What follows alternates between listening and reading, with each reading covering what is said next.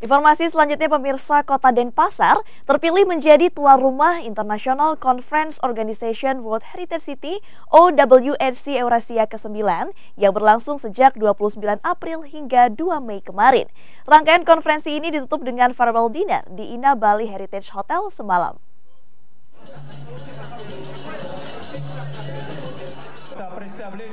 International Conference Organization World Heritage Cities atau OWHC Eurasia ke-9 telah berakhir kemarin. Digelar selama empat hari, seluruh delegasi peserta konferensi berkesempatan mengunjungi sejumlah situs bersejarah di kota Denpasar. Seluruh rangkaian kegiatan pun ditutup dengan farewell dinner bertempat di Ina Bali Heritage Hotel Rabu malam. Seluruh delegasi yang hadir pun tampak antusias saat kedatangan mereka disambut suguhan tari kecak.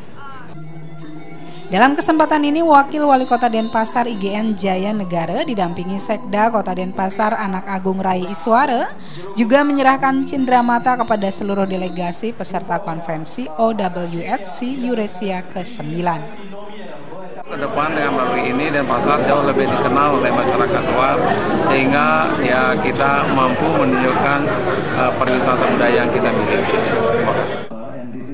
International Conference OWHC Eurasia ke-9 menghasilkan Denpasar Komitmen berisi filosofi Trihita Karana untuk diperkenalkan dan masuk dalam komitmen melestarikan warisan budaya dan pusaka serta kerjasama heritage tourism.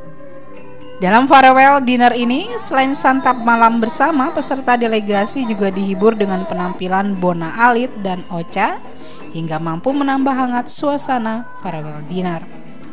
Dari Denpasar, Indira Ari News melaporkan.